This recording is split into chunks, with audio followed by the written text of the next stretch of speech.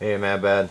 Uh, just wanted to throw this video to you, buddy. Um, I hope you get better soon, and um, just kind of wanted to do a video uh, giving you my uh, best hopes. We would like you back to go ahead and give your shout out uh, to your people on the interwebs, and um, we're hoping that you you know make a quick recovery so that so that you could get back into your political side your political views and uh, get to enjoy your videos.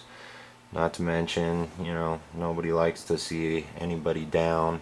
Um, it's a really tough you know break that you caught there. Uh, you're a good dude so um, just kind of wanted to bring you you know, uh, get well soon type card situation here.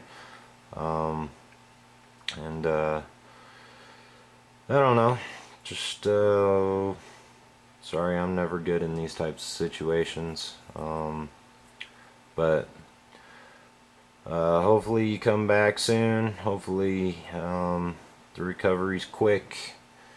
And, uh, you know, you're in everybody's thoughts, buddy you're a good man. We love hearing from you, and uh, hope you do well. And you know, let us know when you're doing better. And um, I don't know.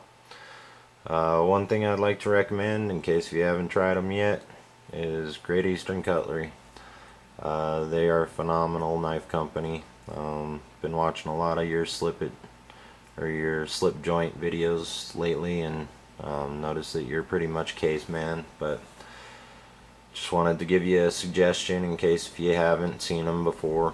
Um, but uh, you know, probably not the best time in the world to be you know suggesting that you go out and purchase some knives and stuff, but.